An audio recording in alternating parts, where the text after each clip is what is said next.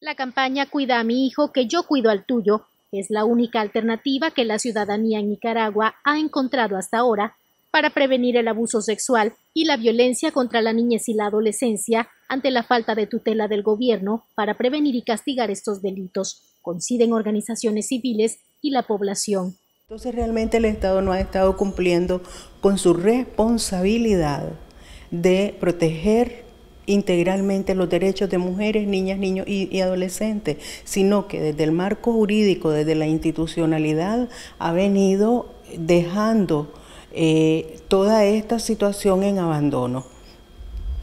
Eh, efectivamente, si el Estado no se hace cargo, si las instituciones no están en función de esto, porque además en las instancias judiciales hay mucha corrupción, Obviamente lo que ve la ciudadanía es su alternativa. Así como hay personas que por lo menos le dan protección a mi hija y yo viendo en peligro otra criatura, igual yo le daría, yo le daría la misma protección. Ya pues que entre veces pues no hacen nada la policía porque ya se dan cuenta de tantas cosas que suceden, tardan más uno. Es más el tiempo que uno pierde andando dando vuelta ahí que lo suelten ya todo ese poco delincuente. ¿Debe llevarnos a reflexionar esto como país, como, como sociedad? Claro que sí, porque ya estamos poniendo en riesgo la vida de una niña. Bueno, por ejemplo, en el colegio donde tenemos a la niña, a mi niña mayor, tenemos el problema de que no hay este guardia de seguridad en el día, solo en la noche. Y hemos presentado ese caso, pero no resuelven nada.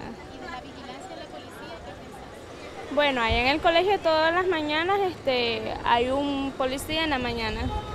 Ya cuando entran los niños ya el policía se retira sí que, que se diera más seguridad por parte de la policía ante el incremento de estos casos?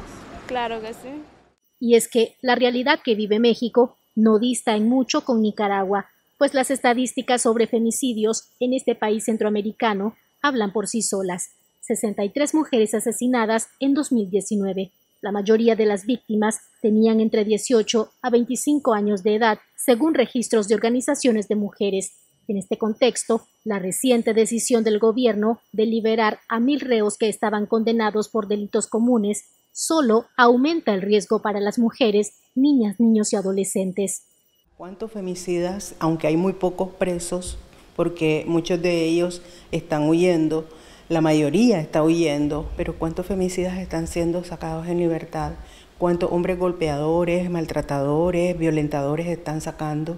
cuántas, eh, cuántos abusadores sexuales condenados están ahora saliendo y ellos se sienten con la eh, con el permiso de venir ahora a reclamar espacios en sus casas o con sus familias y obviamente esto pone en riesgo a las niñas, niños. Sí, estamos muy preocupadas.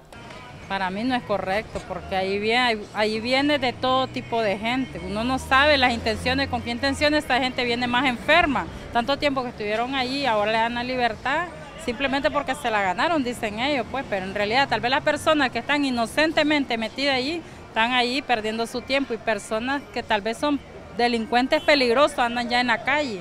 O sea, están poniéndolo más en riesgo a la, a la ciudadanía nicaragüense. De acuerdo al movimiento contra el abuso sexual, las denuncias por este delito han disminuido en el último año hasta en un 50%, debido a la falta de confianza de la población en la Policía Nacional. Chavarría, Voz TV.